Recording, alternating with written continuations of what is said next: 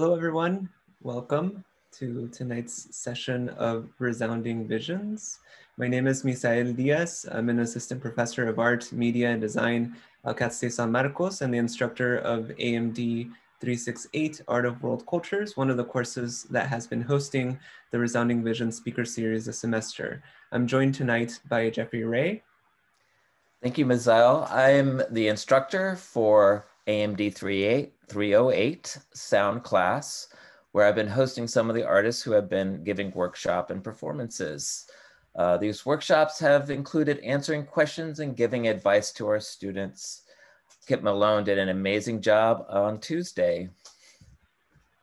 Great. Yes, and we wanted to begin uh, today's presentation uh, with a land acknowledgement. Uh, we'd like to acknowledge that uh, Professor Ray and I are speaking to you tonight from the unceded territory of the Kumeyaay peoples, um, and that the meeting place of CSUSM and its surrounding areas is still home to the six federally recognized bands of the La Jolla, Pala, Pama, Pechanga, Rincon, Soboba, Luiseño, Payómkawichum people. We'd like to take this moment to acknowledge and express our appreciation and respect for those groups whose homelands we reside and learn on, recognizing that they are stewards of this land and have been from time immemorial, in spite of the ongoing violence of settler colonialism. Given that we're not all together for uh, tonight's session, we invite you to take a look into whose uh, ancestral homelands you reside on by consulting the resources that I'll be popping into the chat shortly as a first step in recognizing the resilience and strength of Indigenous communities, as well as expressing solidarity with efforts to undo their intentional erasure. So let's take a few quiet seconds to absorb and project resilience, strength, and solidarity uh, as I share those resources now.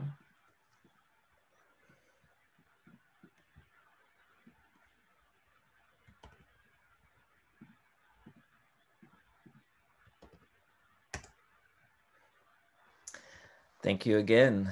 Um, welcome to our last session of Resounding Visions. This is a year-long series of BIPOC artists, musicians, and scholars who work at the intersection of sound and art to explore forms of cultural resistance and affirmation. We are happy to announce we will be continuing this program next semester as well. So it's a bit of a celebration. Yay. Mm-hmm. Um, the programming committee for the series includes faculty members Misael Diaz, Christine Dickman, Anna Louise Petresco, and myself, Jeffrey. And we wanted to also take this opportunity to extend a very special thank you to Stephen Laura Wagner and the Epstein Family Foundation for the generous funding that uh, has made these events possible and will continue to do so. Uh, and we also wanted to take this moment to uh, thank the School of Arts uh, staff that has been providing support for this series, especially about Albert Rascon, who's been behind the scenes uh, and instrumental uh, to making sure that these sessions flow and sound and look amazing. So thank you to Albert and to the rest of the staff.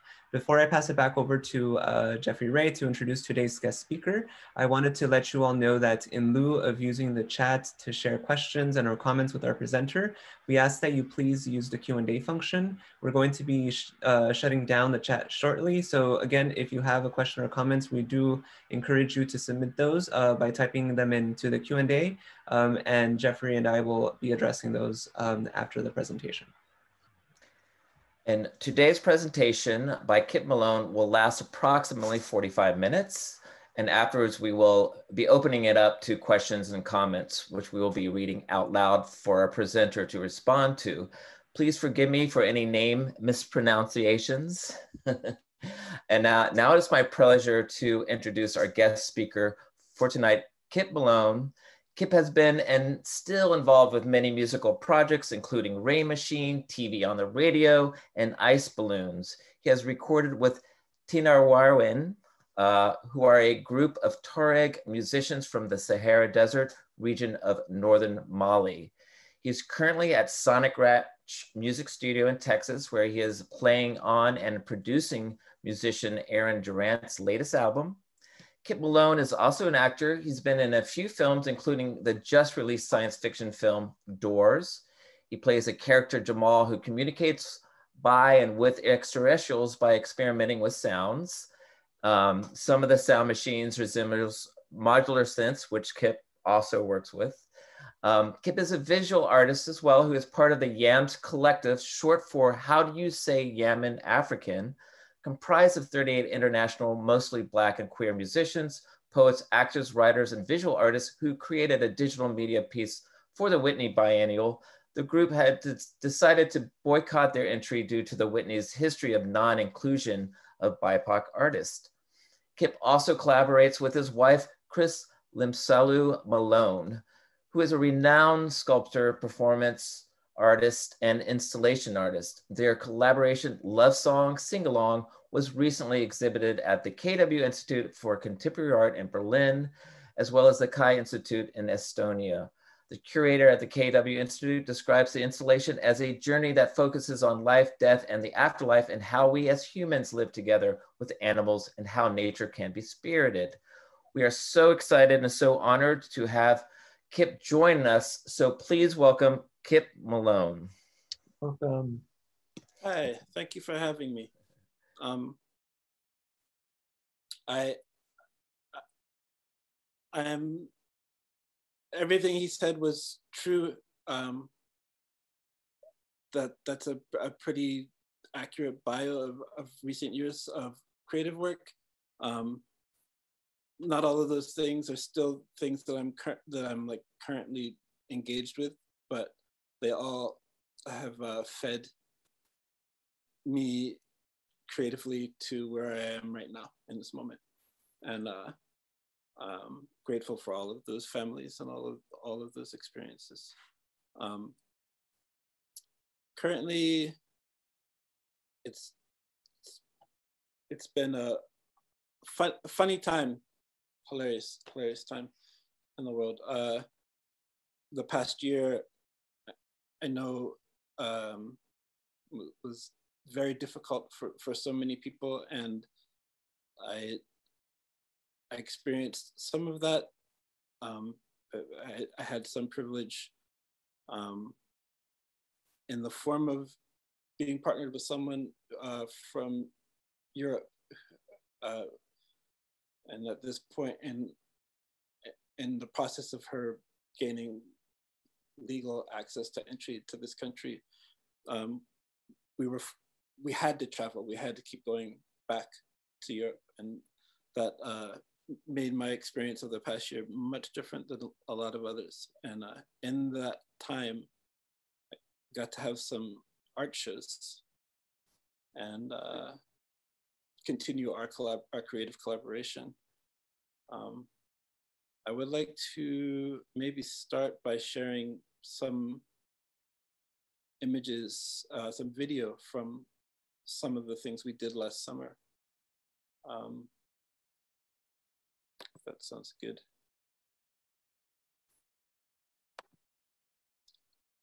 Uh, yeah, we we had a show up in Berlin right before lockdown, and it was up for.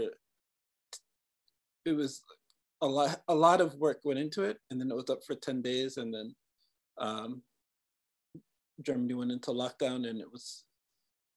It felt like a. Uh, it was a little frustrating, but um,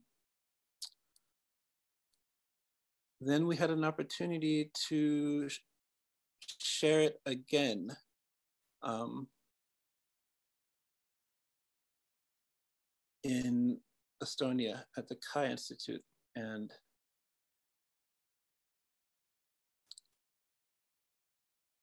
this first this first piece um, was additional material for, um, than what was presented in Berlin. And uh, it's a video I'm gonna share with you. It's, uh, it's about eight minutes long. I might not let it run the entire time, but it is, um, was done for this installation in reflection of this installation. Um, and it's a, uh, it's a little blue, but nothing, nothing over the top. So I didn't make it to offend anyone. Say that. Well, let's check it out. Um, Give me something to live.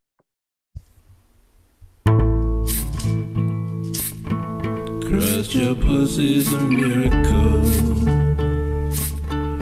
Give me something to live for.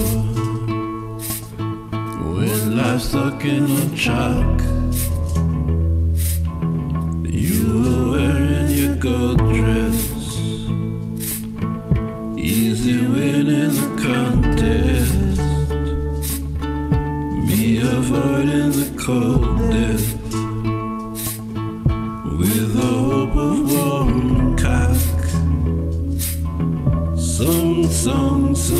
silly in love, child. tap lazy foot, keeping time. Pouring rum in the cola. Have me next door, begging lines, Steal some candles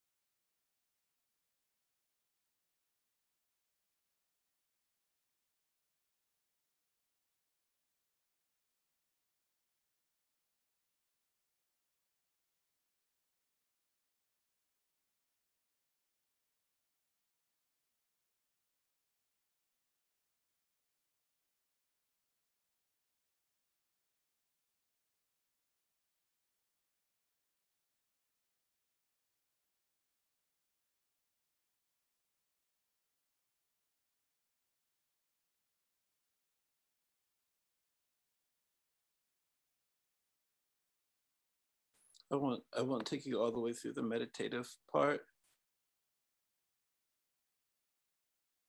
Um, so yeah, that's uh that was in uh at the Kai Center in uh in Tallinn. And um used a lot of like uh, consumer telephone apps for video effects and manipulation, which I've been messing with for the past few years, just because I found myself kind of becoming enslaved to my telephone, you know, like addicted.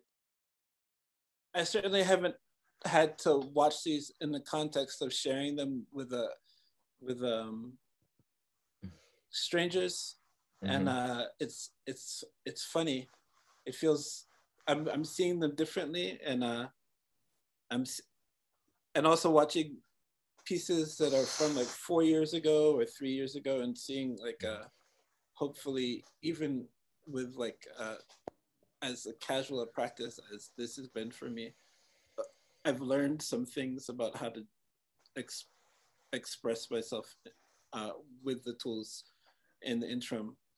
Uh, and so I'm noticing how, the roughness of of some of the early things, but also I, I have to say that there's something um, really gratifying about the speed at which um, I can get some idea out with with the tools with these mm-hmm. consumer level apps. You know, I, I I didn't. Uh, I, I grew up with, you know, no computers, and uh, but uh, the technology has come so far that a, a lot of the work is done for you. And it's like what would probably have considered been considered cheating 30 years ago or something. Mm-hmm. But uh, I, I, I really like the immediacy of it. I can like uh, be frustrated that I'm not hearing uh, um, what I believe, what is often sometimes like an outsider viewpoint inside of the um, dominant narrative around like contemporary happenings around the world. Mm-hmm. And um, uh, when I say this, like I, I, am not uh, uh, implying in any way that I think that like uh, the, the power of one memer is like equivalent to like a lot of other forms of activism but it really it really has helped me psychologically to be able to like put together what is basically like a political cartoon mm-hmm. on my phone from time mm-hmm. to time when i've been uh, frustrated by um, the silencing of mm-hmm. of marginalized voices. Mm-hmm. And so maybe I'll try to, I'll see if, um, see if I can find something that is along those lines.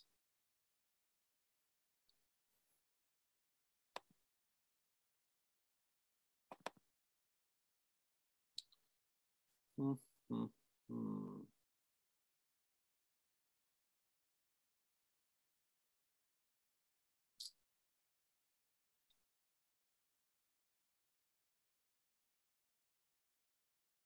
This is a another early one. Let's cross our fingers that the audio is apparent.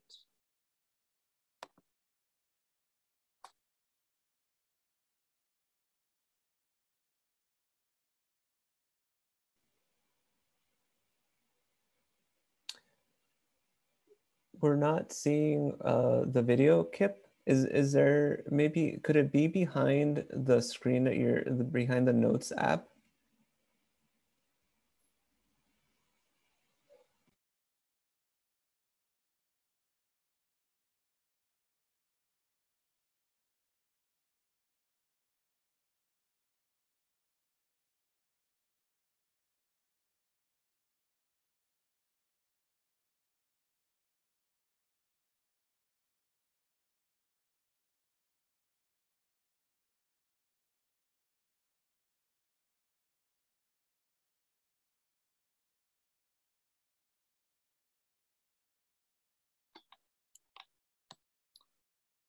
Hmm.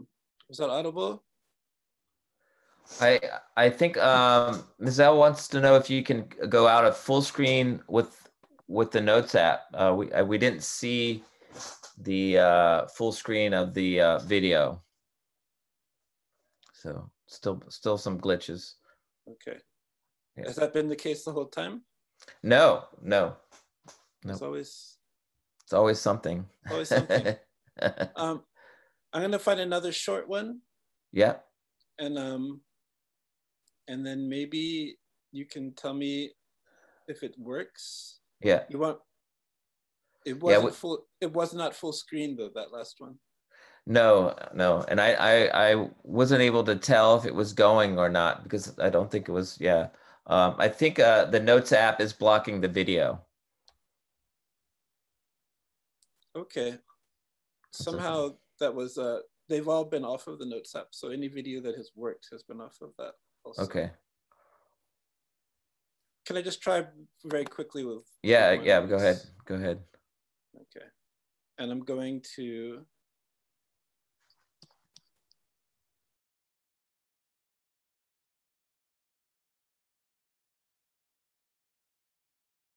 So maybe it's because it says sharing is paused, bring your shared window to the front. I'm not even sure what that that means. Ms. Al, you know. Maybe clicking that would be good though. I think the the full the because the Notes app is is on full screen. Mhm. Um, I think that might be blocking us from seeing the video behind it. Okay. So if you maybe minimize the Notes app, Mhm. And I get I get it. That might help. Me. I believe I understand what you're saying now. Can you see a still image right now?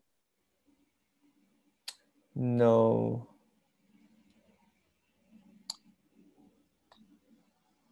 Ah. Okay. Can you see a screen now? No, it might also be that um, we can see the corner of the Notes app, but not anything else. I think it's maybe, it, might also be that the screen that's being shared is specifically the Notes app. I know that when you can, when you go to share screen, you can select which screen you'd like to share, and there just might be specifically the Notes app as opposed to whatever other program uh, the videos are playing off of. So I think that there's an option to maybe share screen and do, How about now? Do you see anything? yep, we see, we see the video now. Yep, that's it, right there.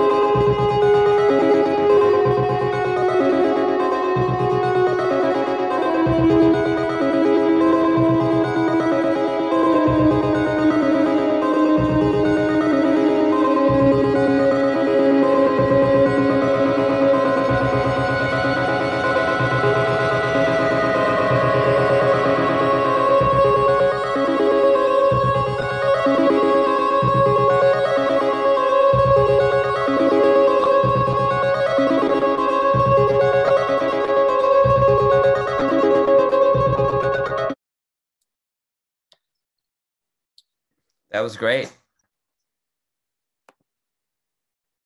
Yeah, thank you guys for your patience. Uh, We got it finally. embarrassing. Um, I'm gonna share another video, um, something that I shot with the with like a through the filter of another consumer video um, effects application, and it is a a performance of a of a song I wrote.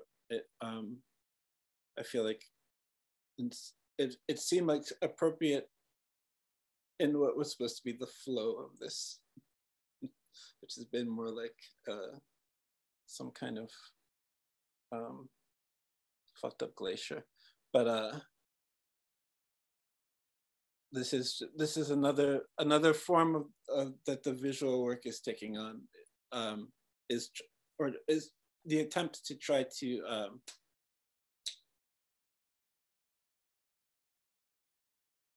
during lockdown I, I, was I was invited to participate in a lot of um, video um, performances and benefits for different causes and uh, whether stuff around the election or stuff around um, COVID relief and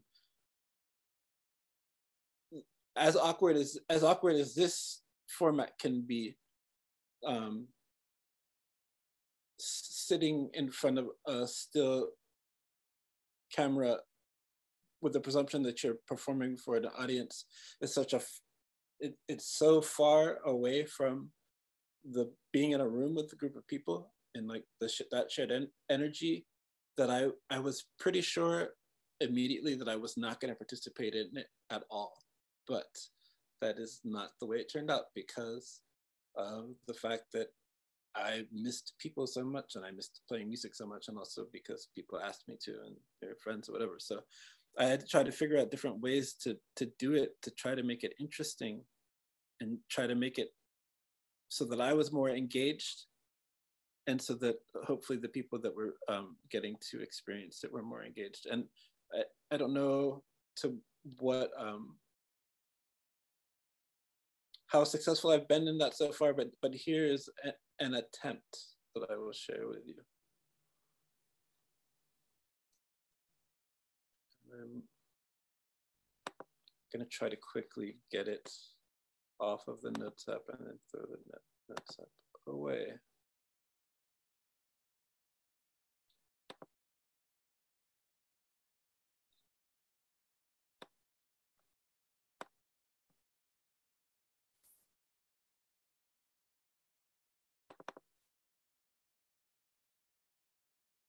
Okay.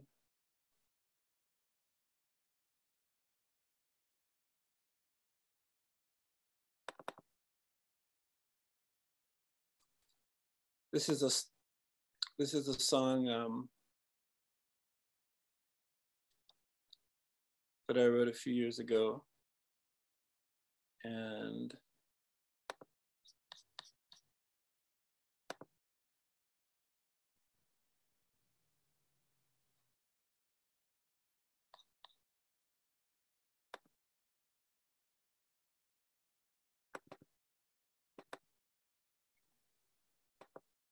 Is it visible? no, not not yet. You still have to share the screen, I believe. Oh my goodness. I wish I had some material, some jokes for you for this this seemingly inevitable downtime. Mm. But it's coming soon, I promise. And boy, will it be worth the wait. You're gonna love it.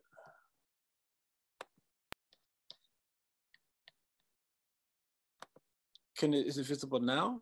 Yes, definitely. Okay. Here's a static image, but here's.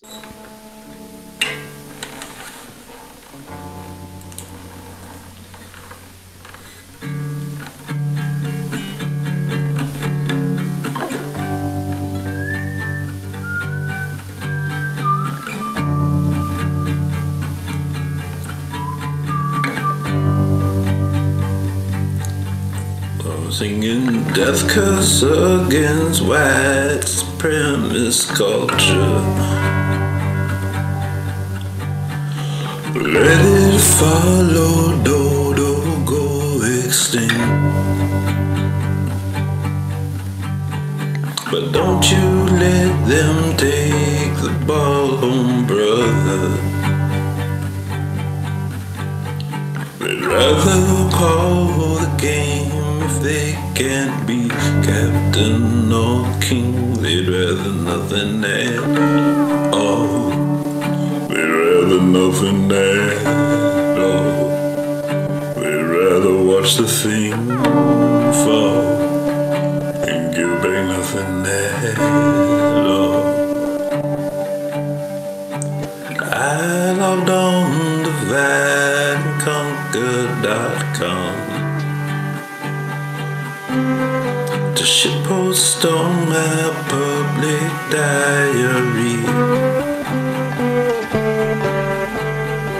I asked myself if what I had to offer was even worth a motherfucking thing.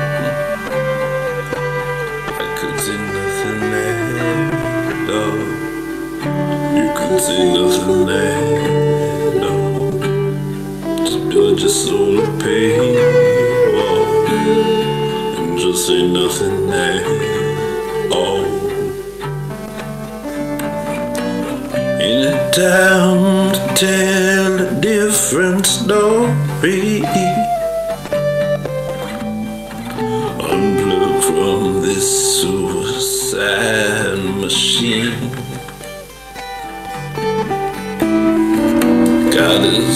Shake me awake, come show your hand. God hates flags, your walls are drag. She showed me in a dream. But anyway, fuck a wall that ain't against the golfers. Nothing against Scots, just rather gardens, trees, and streams. Understand, I'm not advocating for no slaughter. Fuck if we just let them suck all milk from mother's teats, and I just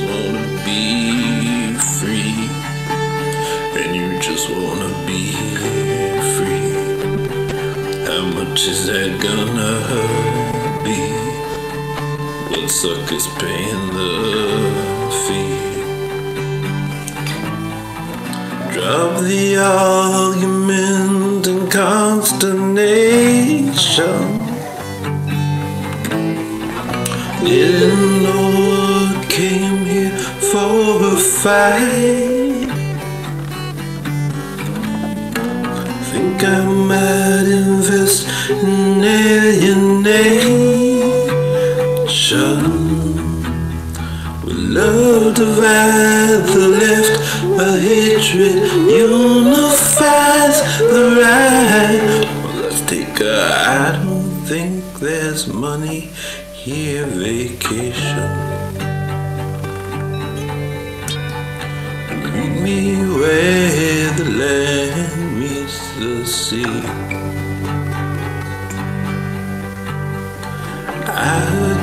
Casey's building Haitians.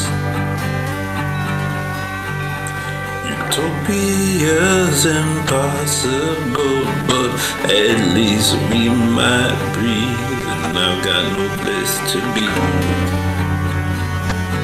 And you've got no place to be.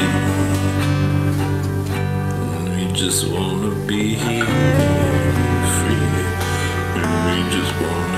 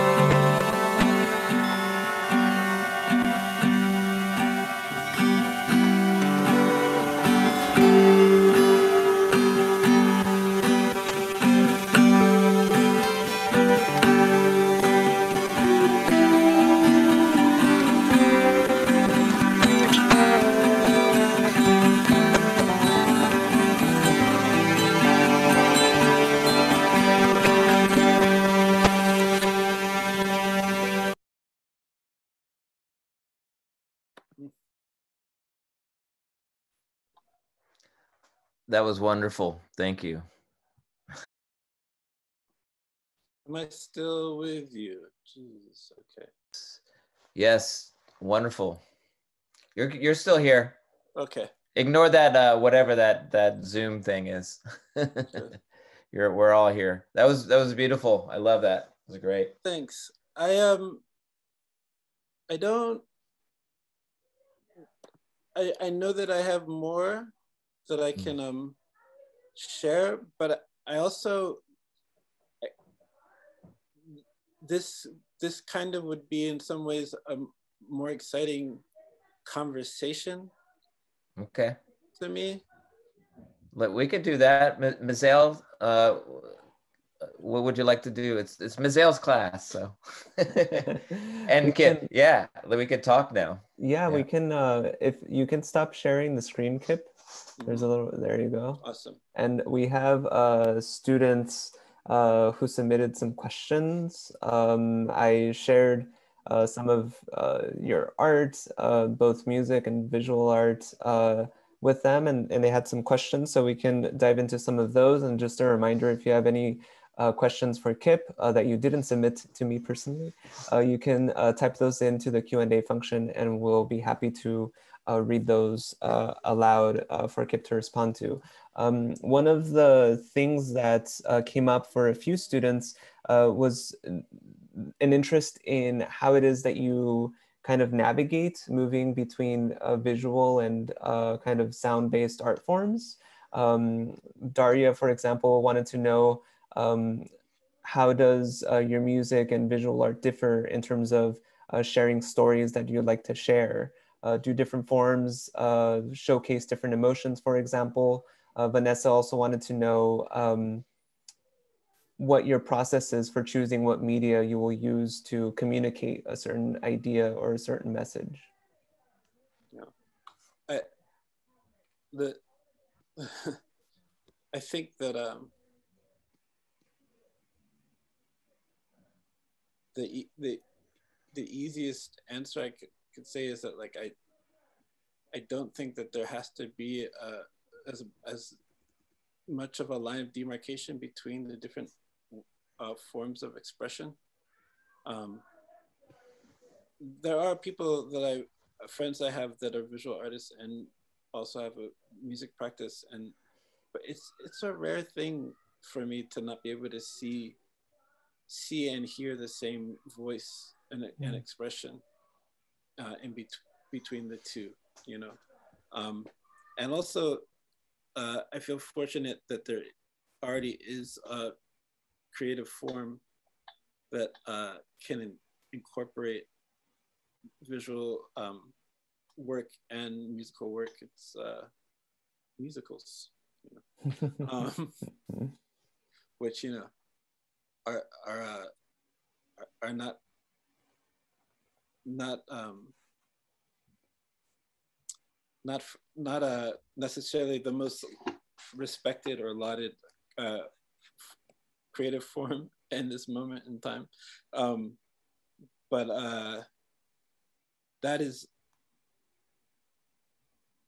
if if I have enough time in this life, the things I'm trying to learn, I hope are leading towards the production of some type of psychedelic musical. Um, because I, I don't feel like there's an I, I like the, I like to work when there is uh I don't get me wrong I, I love to I could spend an entire summer just uh, doing watercolors, you know. But while I'm doing it, I, I'm gonna really want to be making music, and while I'm doing the music, I'm really going to want to be doing the watercolors or, or doing animation or like, um, yeah. So I, I, I feel like the, however rough the things I shared with you, um, they are hopefully like, I'm learning in the process, and will and um, we'll be able to do something a little bit more intentional and larger scale that incorporates um, music and and visuals. Awesome. Yeah, I'd, I'd be definitely up for seeing a psychedelic musical. by Yeah, when, when I uh, there was bef- before I started uh, doing like video collage and all that like uh, very like uh, rudimentary animation. I was I was drawing and painting a lot like since I was a kid, you know, not with like formal training or art school or something, but uh, whatever. It's, it brings me a lot of joy, and uh, but then once I started using the apps, and I haven't, and it wasn't until this past summer that I even started seeing a, like the efficacy of pro- programs like Final Cut, not Final Cut, After Effects or something like, um, which I haven't really uh, dove into yet. But like, uh, but after even just using those like um, consumer apps, uh, when I'm working on a on a drawing or a painting, it's frustrating because I can't. I want it to be moving more, but that's but that's also got had me um, to try to express movement more inside of the drawings that I'm doing, um, which is an interesting shadow effect. Yeah, definitely. That's that. That's really uh, interesting, and I, I think one of the it's because you're uh, speaking about um, kind of mobile technology and phones, and um, that's kind of what, one of the things that, that came up uh, in the presentation. Uh, we've had a few artists who have also uh, addressed issues of technology uh, within their work, and one of the topics that um, seems to be uh, on students' minds, and I think on a lot of our minds, uh, is like the relationship between um, mental health and, and questions of technology. And I know that one of the questions that came in earlier was relating to uh, a video that you uh, produced uh, or that you were part of, uh, a cover of the song Mexico City, where you speak about the relationship between music and, and, and mental health in your own personal life. Um, and the student wanted to know if you could just maybe speak a, about that a little bit more about the how, how it is that you envision, uh, I guess, the role of art um, in helping us cope with the difficulties of these moments, uh, slash like navigating that in relation to to using your phone and, and, and trying to cultivate a healthier relationship to one's technology. Yeah. Um, that, that video that you're referencing, I was, I was invited by some folks uh, have an organization called Sounds of Saving. I think that's the name. Forgive me if I got it wrong, but um, and they they are like a suicide awareness and like mental health health awareness organization, and that is um, in, engaging musicians to try to shed light on um, issues around mental health and advocate for for um, collective um, attention and um, energy and money to be focused on making that more available, making it available to everyone. I definitely feel like um, I ha- um, have struggled with depression for for a, a long time, and uh, it's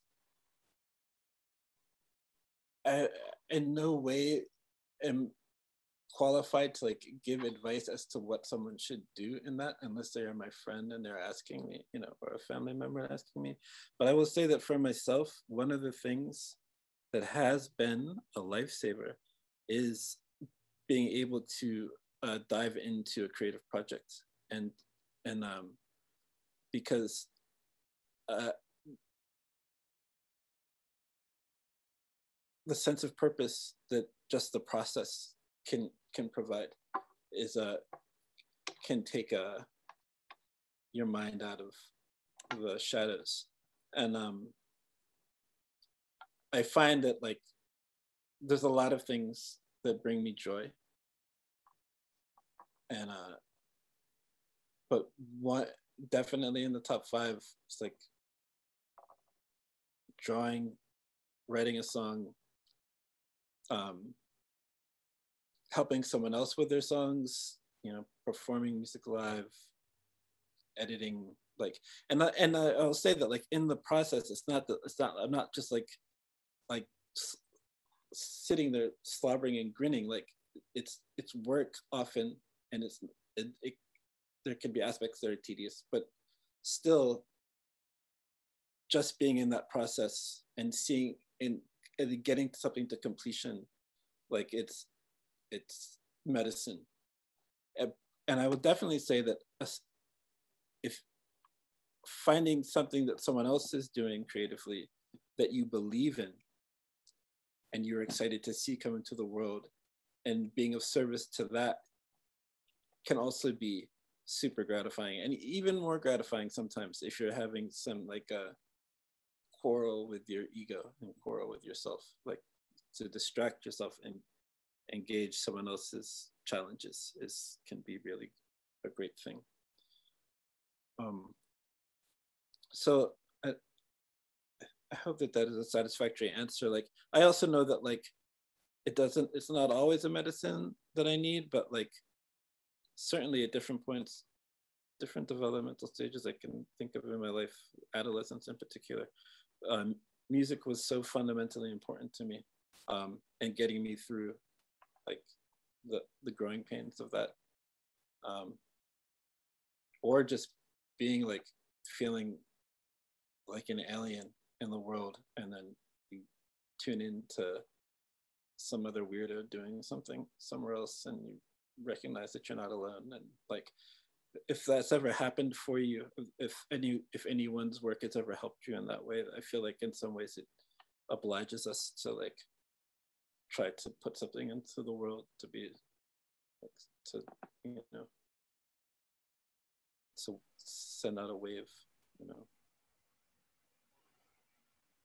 Yeah, thank you for sharing all of that, Kyp. And uh, George in the comments uh, just wanted to share that he appreciates your vulnerability and has much respect for your sharing.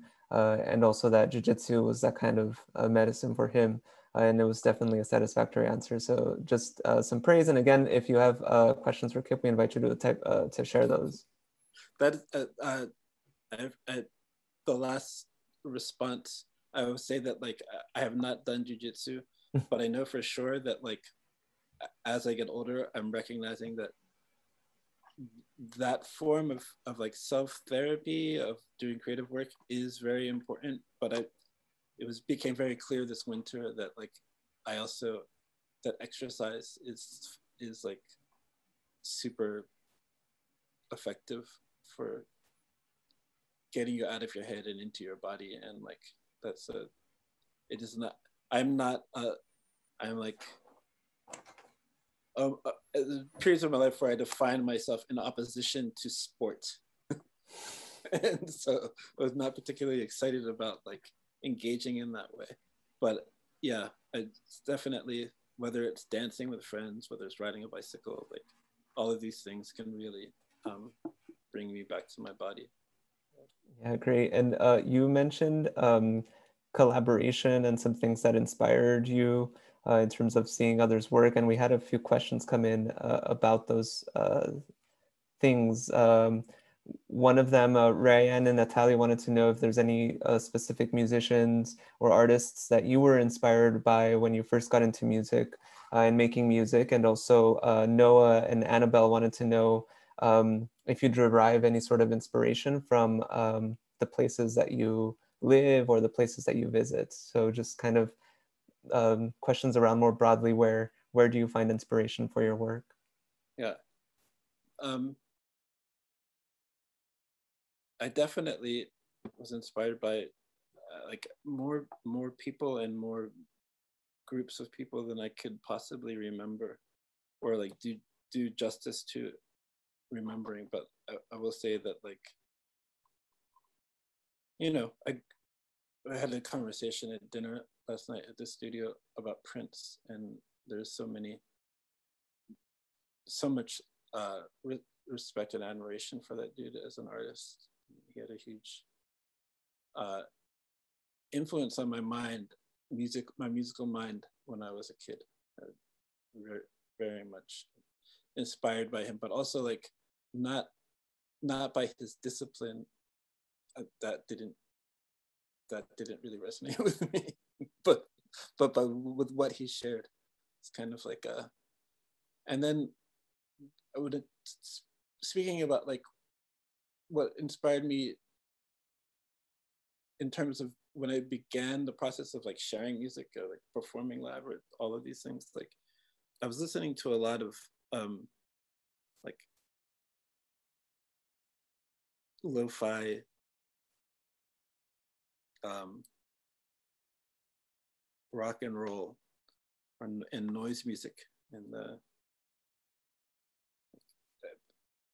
when I was a teenager, I lived in Jersey, and I, on most days, I could tune into the Princeton's radio station. And, and everywhere I've lived, there's at some point in time, like checked out what the local university stations um, had to offer, and oftentimes it was like a, yeah, I, I, I don't use uh, the streaming services. I'm still reliant on like more on word of mouth and things that like I pick up from people that are cavemen like me, cave people like me. But uh, there was a. I remember when I was when I was in the '80s, was really into like British indie music, like the the Cure and the Smiths and New Order and all of that. And um, I can remember bands in high school that we were trying to basically sound like them, but thinking that we were being original. Uh, but then it was a real revelation when I started hearing like um, what people closer to my age were, were producing in the States. Um, and uh, I don't know, like, get, like getting turned on to, to know, this is so, feels so dated, but like Squirrel Bait and Slint and bands like that, guided by voices. And, and these productions that like some of them were kind of like disciplined and hi-fi and really careful, but a lot of it was like people making really wild sounds um, in their living rooms, not on a laptop, but on a Tascam four track, you know, and like, and uh, uh, tools with with like severe limitations, but um, severe limitations that helped develop a particular aesthetic.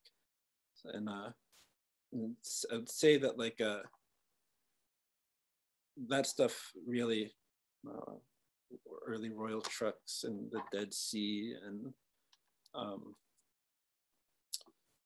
yeah, uh, Harry Pussy was a band from Florida, and I remember uh, my dear friend who who's since gone um, gave me a cassette of their singles collection, and I was headed out on the road 1994, uh, doing setting like basically like on a rave tour with some people I had just met. I just needed to get out of town, and I went with them and like um, and investigated that what was happening with all of that. But I remember driving through the desert uh, um, into Nevada and hearing um, Bill Orcutt is the guitarist for that band, and uh, and a, a woman named Adris Hoyos was the drummer, and uh, it was it was just like a such a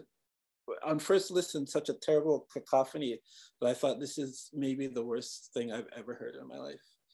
And i took it out and then somehow like a coffee later i was curious and i put it back in and then i couldn't stop listening to it and it be and i uh that dude is definitely one of my favorite guitarists of all time. And I remember like then seeing them live and trying to see them live as often as I could. And some other bands uh, from that same time period, the Shadow Ring, like it just be, made things evident to me that, uh, and they weren't the first to come across this reality, but in my generation, for my ears, it was the first to see that like it was up to us to define what music was, you know, and that the limitations of what that is are, are only dependent on our own patience or our own willingness to go outside of uh, levels of comfort. And so that, I would say that stuff was really very inspiring. Uh, definitely like, I decided that I could have a band if if Harry Pussy could exist and like I could have a band if the Shadow Ring existed and that I had something to share that would like maybe resonate inside of that realm. Yeah. And which led me to much different music and much different collaborations, but the starting point was like noise, basically. Cool. Um, I have, I'll, I'll have two questions, but I'll, I'll, I'll be respectful and ask one. Um, you have successfully found your voice in music and art, uh, a voice that has, uh, I see as has no, no compromise. Um, can you give advice to other students on how to share, uh, how they can share their unique voice and vision? and how you go about it as well in your process. Yeah. I would say first off that like it's okay to compromise a little. okay. and, and, uh it's kind Good of answer. like yeah, I I am the person that refused to put oil in his car the one time he owned a car.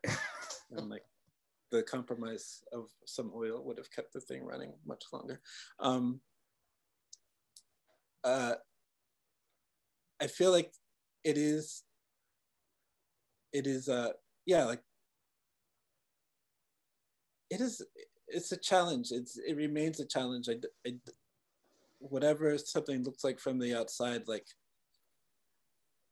there's gonna be um fallow moments and like and like periods where like it could seem like um maybe you were confused and maybe this wasn't what you were supposed to do and you get tricked or you tricked yourself or something. But like it's it's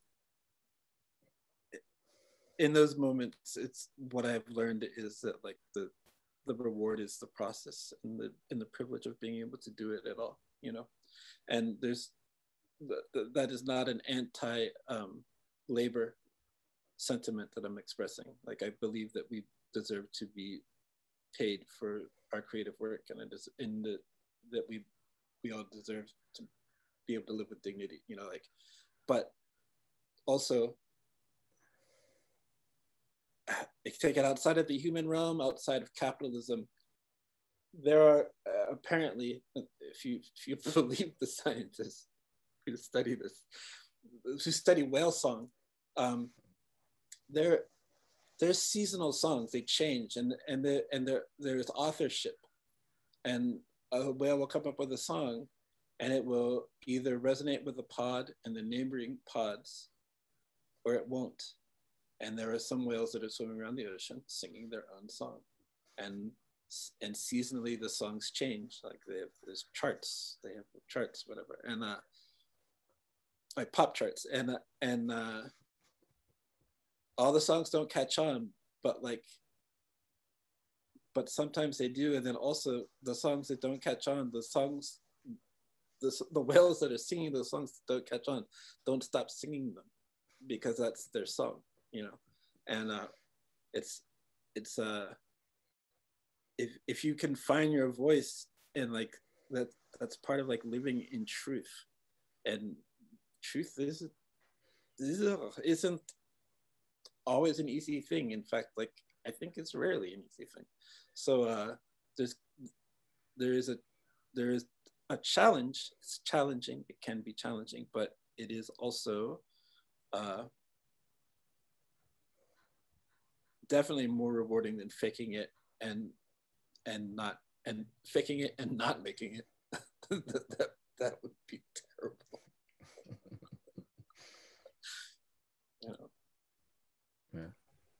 Cool. Awesome. Yeah. That's Good great answer.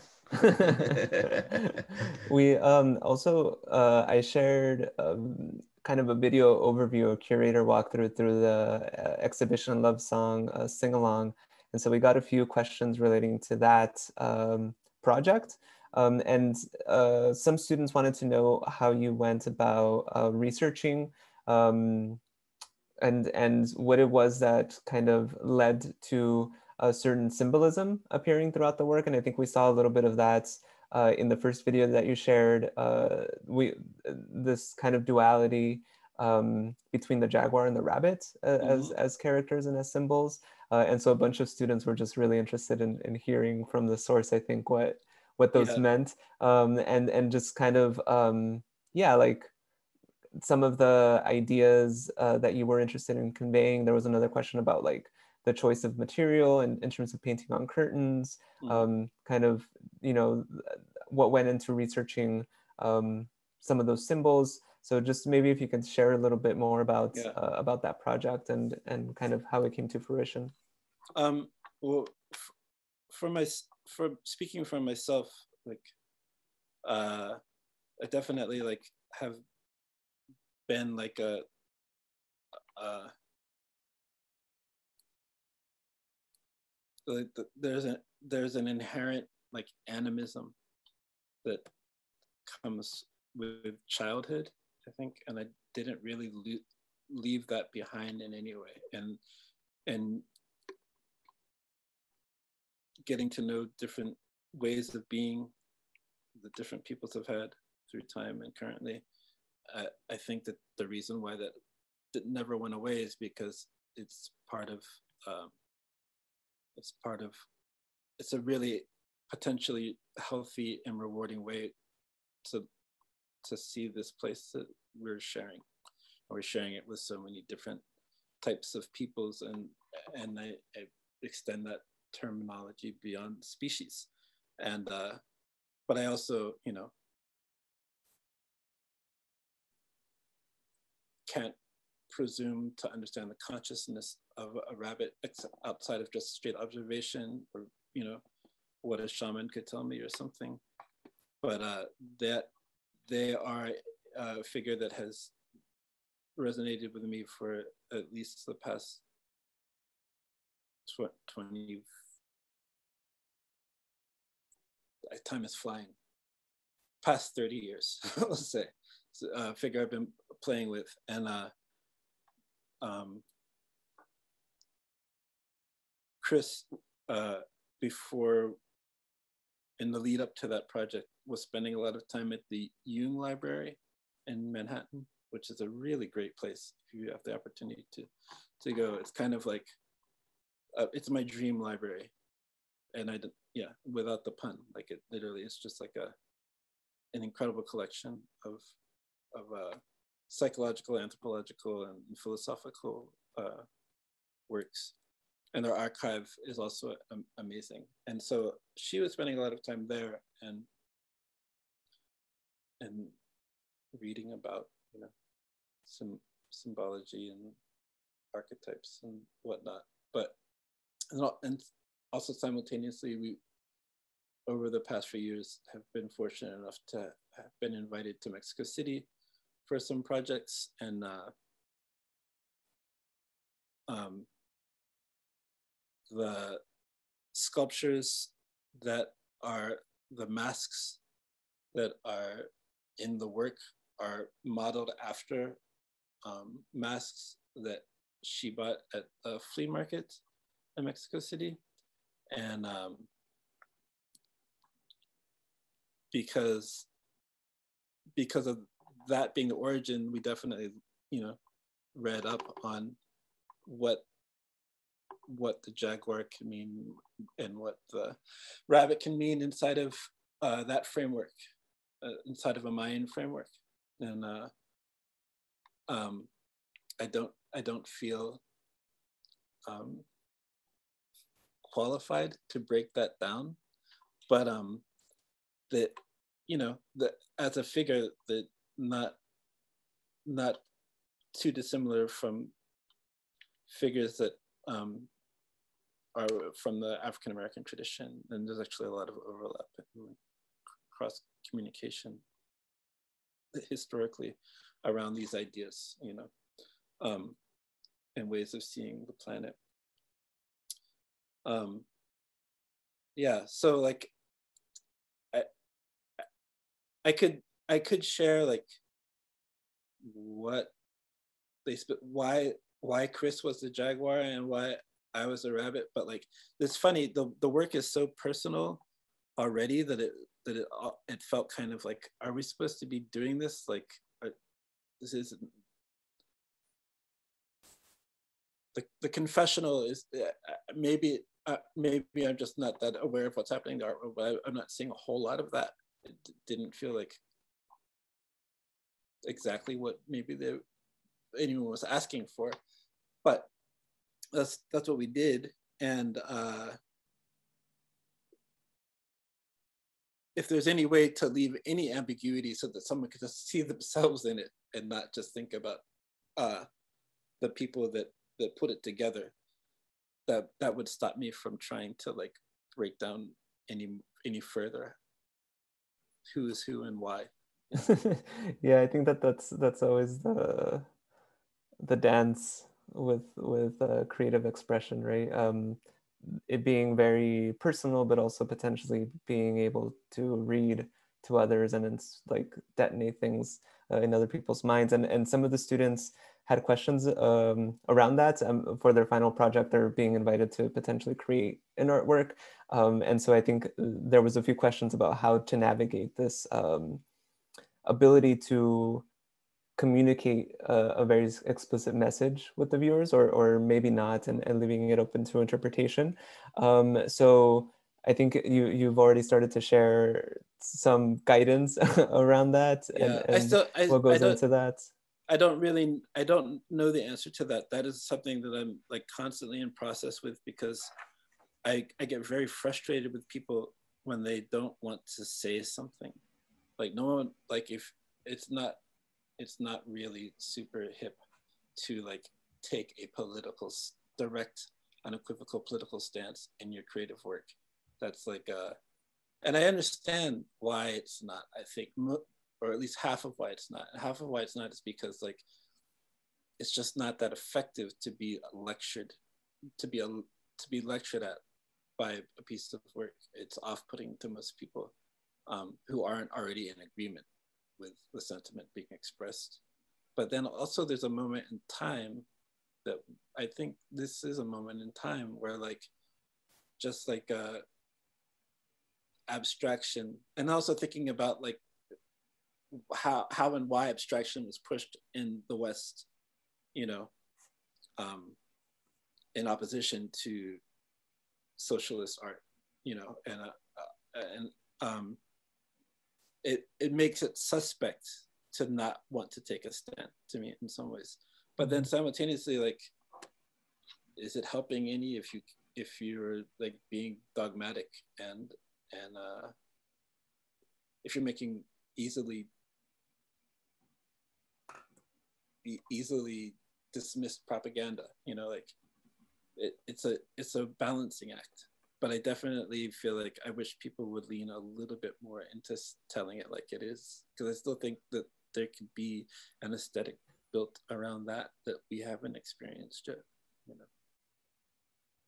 Yeah, yeah, I think that's that's really important um, for art to communicate a message, um, and I think that's yeah, I, I we don't want to take up more of your time already, Kyp, but I think that we can I, th- I think that's a nice place to maybe uh, end it because um, I think that I don't know your artwork does that very well your art and music and I think it, it invites us to um, yeah like like it, I, I think I find it inspiring it inspires me to want to also get involved and I think that that's a really nice a way um, that art can be used as you've been sharing like inspiring others to also do something um, and so thank you for sharing your work um, and for making your work and um, for being able to to navigate the complexities of Zoom and the patience uh, of that. Uh, we appreciate your time uh, and appreciate um, you speaking about your work today and also speaking to students um, in Jeff's class. But uh, Jeff, is there anything that you'd like to?